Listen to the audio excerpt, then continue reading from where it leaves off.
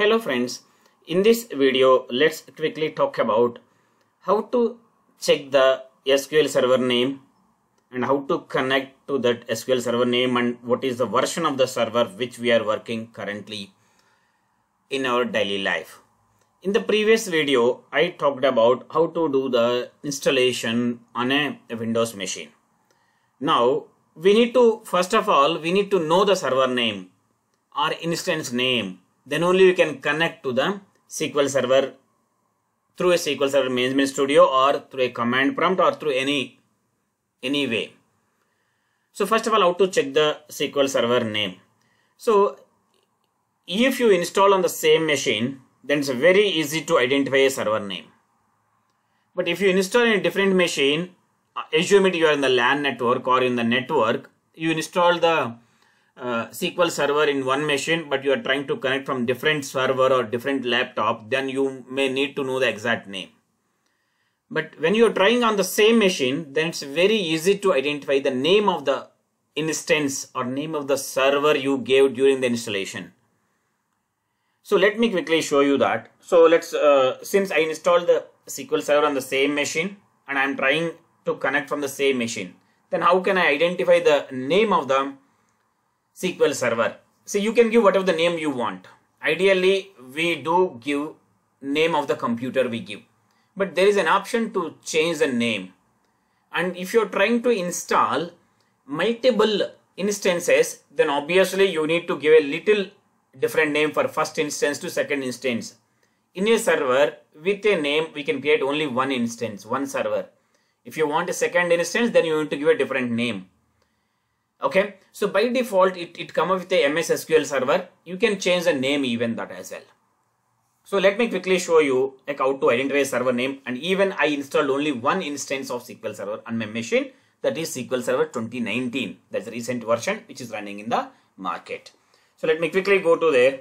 So let me quickly go here and uh, connect to the uh, sql server management studio. Here i am going to identify what is the name of the server which I kept during the installation. So by default, it, it came up with my server name, but assume there is nothing is coming out. I'm trying for the first time. It will come like this. Okay. So here you, you can see drop down here. Let's expand this drop down. Here you will see browse for more. Let's select this browse for more. Here you can see the multiple options database engine, analysis services, reporting services, integration services, Azure SSIS integration runtime. So currently I don't have any of these. That is the reason why I, I don't have a plus symbol for analysis services, reporting services and other options. I have a plus symbol only for the database engine. I got like this. So let me expand this database engine. Once I expand this, I can see how many instances of SQL Server has been installed. So I did only one time. That's the reason why I can see only one name. So if I have two instances of SQL Server, then I'll get the two names here. Three, three names, five, five names, I'll get it. So this is my name of the SQL server. I gave it. So now you can give this name to somebody else who is there in the uh, same network. They can connect if they have permissions. So let's select this and click on OK. And here Windows Authentication, SQL Authentication, and you have Azure Active Directory and Azure Active Directory password and integrated. it depends. We'll talk about one by one slowly at later stages. Select a Windows Authentication. Let's click on Connect. So when you select Windows Authentication, you do not need to enter username or you don't need to provide a password. It takes my user ID from a, a login um, Windows credentials and it check for the uh, privileges. If this particular user, venkat-pc slash venka, if, if this user has a permissions on this SQL server, then it automatically connects when I click on connect. Yes, it has a privileges. So what kind of privileges we can see at later stage. So at least if you have a select privilege, if you have a connect privilege, then you can at least connect it. Based on the privilege level, you can do the operations here. So I say this is my computer. I'm the admin of the SQL server. I can do whatever I want. Even as a normal user also, you can uh, you can log in into this PC and you can see.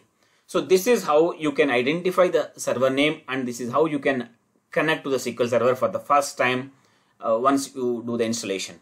Then how to identify the version name See, people ask you what version of SQL Server you are connecting. Okay, so here, uh, since you can connect, um, see, this is SSMS I have, but originally what version of server has been installed? Okay, so SSMS cannot decide, cannot tell you by looking at the SSMS itself. So you need to provide a command.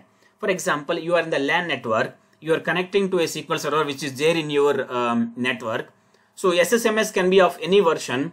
Okay, so you can connect to that server and you can do operations.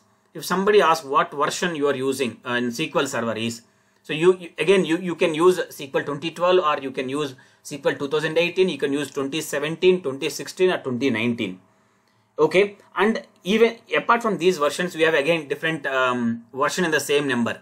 Standard and uh, express and uh, enterprise like this. So they will ask you what kind of version you are using how to identify that so sql will give you one command to identify a version of the sql okay? So let's simply type @@version. See IntelliSense is enabled in sql 2019 as well okay? So just uh, type this command select @@version. So once you're done with the command let's type execute it. So now you can read this. So here microsoft sql server 2019 rtm 15.0.2000.5 x64 september 24 2019 so this one copyright microsoft uh, corporation developer edition. I told you that it is a developer edition when i was doing the installation. On windows home 10 this is my os on windows home 10 10.0 so build number is this. So this is how you need to identify the version number and you can tell to the people. Okay, so now, so by looking at this SSMS, you cannot tell what version of SQL Server is original. Okay, SSMS can be off. I can use SSMS previous version also. So if you want to identify what is the SSMS version, so let's quickly connect to the SSMS and in the help icon, just click and click on about. So once you click on about, you can see the so version SQL Server Management Studio version number is 15.0.18384.0 but if you see the original is this one so this can be anything actually this one so that is the reason why SSMS can be of different version original SQL server of different version. So you need to see and you need to identify the real version by using this command. And also let me click again about. You can see here operating system also you can see here .NET framework you can see all these all. Okay? So this is a developer version i'm using uh, uh, for my practice and for my examples. So that's how you identify and that's how you uh, connect and check the versions. That's all about it. If you have any questions please drop your question in the comment section. I'll try to answer as soon as possible. Also thank you for watching. Thank you